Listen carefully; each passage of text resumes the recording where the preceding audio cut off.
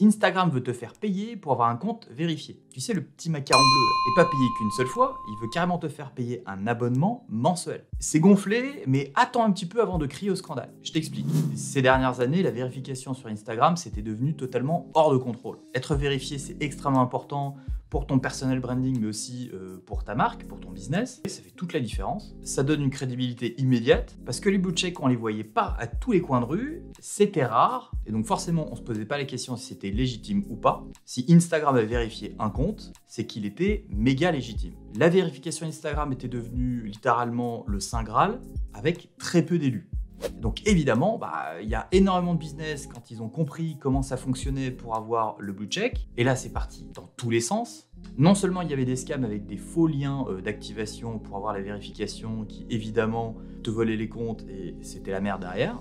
Ou alors il y a même des business qui se sont spécialisés dans la vérification garantie euh, blue check sur Instagram mais en l'échange de sommes rondelettes qui souvent dépassaient les dizaines de milliers de dollars, juste pour avoir une icône à côté de ton nom. Et ça, ça demandait euh, d'acheter des faux articles sur Internet, de créer souvent des faux comptes sur Spotify avec des fausses vues, genre t'étais un artiste. Bref, c'était une arnaque qui souvent coûtait extrêmement cher parce qu'une fois que Instagram a détecté l'embrouille, il y a plein de vérifications bah, qui ont été supprimées et derrière, euh, t'étais pas remboursé. Le macaron de vérification a mené à énormément d'abus qui dépassaient souvent les bornes des limites.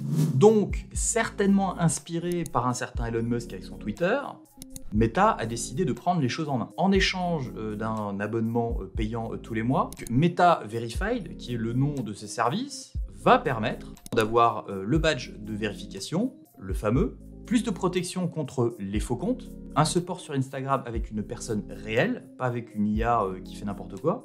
Mais il y a aussi d'autres bénéfices qui, là, pour le coup, sont un petit peu plus discutables. Tu me diras ce que tu en penses dans les commentaires. C'est plus de visibilité sur la plateforme. C'est surtout pour les petit compte, c'est précisé sur la page de Meta, et aussi l'accès à des fonctionnalités exclusives, notamment apparemment des stickers dans euh, les stories euh, pour euh, Instagram mais aussi pour Facebook, mais certainement aussi d'autres choses dans le futur. Et tout ça pour la modique somme de 12 dollars par mois, ou alors 15 dollars si tu payes via l'application mobile. Apple, Google viennent prendre 30%, donc ça compense. Ce qui fait quand même une somme nette de 150 dollars par an, pour être vérifié sur Instagram et sur Facebook au passage, et apparemment sur l'écosystème Meta, comme le disait. Alors comment ça marche? Apparemment, il faut être euh, déjà majeur, hein, plus de 18 ans. Il faut avoir un compte actif. Il hein, ne faut pas non plus avoir quelque chose qui vient d'être créé et où il n'y a rien du tout. Et puis, bah, va falloir aussi soumettre sa pièce d'identité pour justifier non seulement de sa photo mais aussi de son nom, pour bien prouver que tu es le propriétaire du compte, pour pouvoir le vérifier. Sauf que Meta Verified, ça a quand même pas mal de limites. Et ça pose énormément de questions. C'est que pour les personnes vraies, c'est pas pour les business. Les business, eux, vont continuer à galérer pour être vérifiés, alors que quasiment apparemment n'importe qui, à partir du moment où ben, euh, il paye 12 ou 15 dollars par mois, il a la possibilité d'être vérifié. Un poids de mesure ce qui est quand même pas génial. Et c'est surtout qu'une fois que ton compte perso sera euh, vérifié, tu pourras rien changer dessus.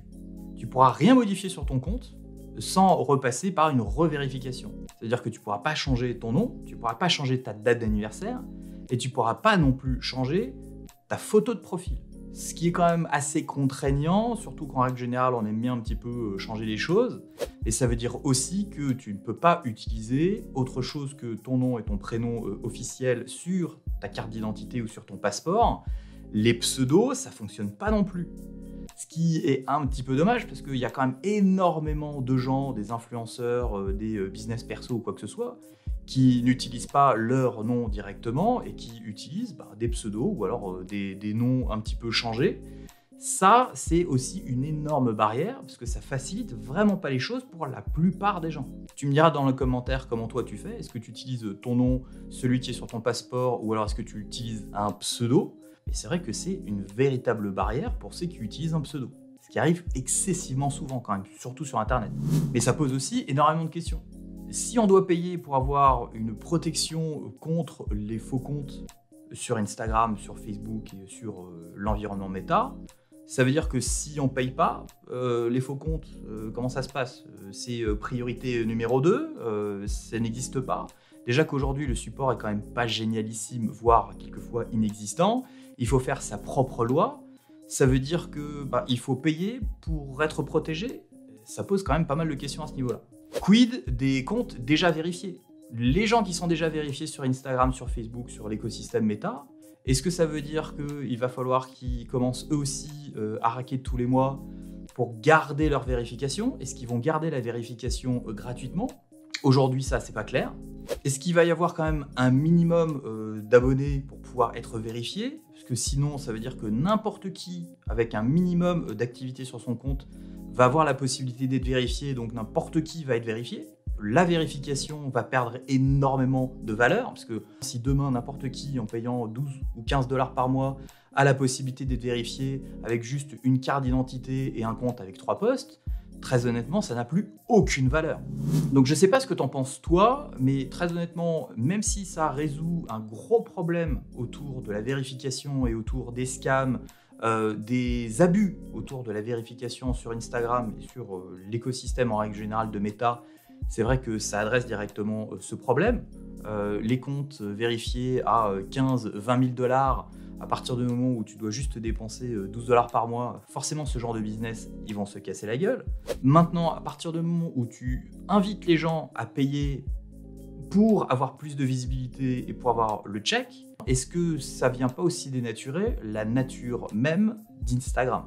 C'est-à-dire, si tu payes tous les mois, on te facilite la vie et on va te pousser plus que des gens qui, eux, ne vont pas mettre la main à la poche et auront décidé d'y aller euh, gratos à l'ancienne. Ça vient résoudre un problème, mais ça vient en imposer d'autres. Donc dis-moi dans les commentaires ce que tu penses de ce nouveau service Meta Verified. Est-ce que tu penses que 12-15 dollars c'est honnête, c'est trop cher ou ça devrait être beaucoup plus cher? En tout cas pour l'instant c'est que en test en Australie et en Nouvelle-Zélande.